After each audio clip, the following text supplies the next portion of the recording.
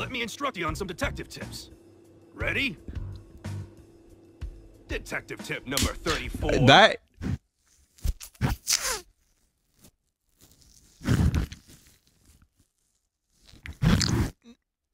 that that was a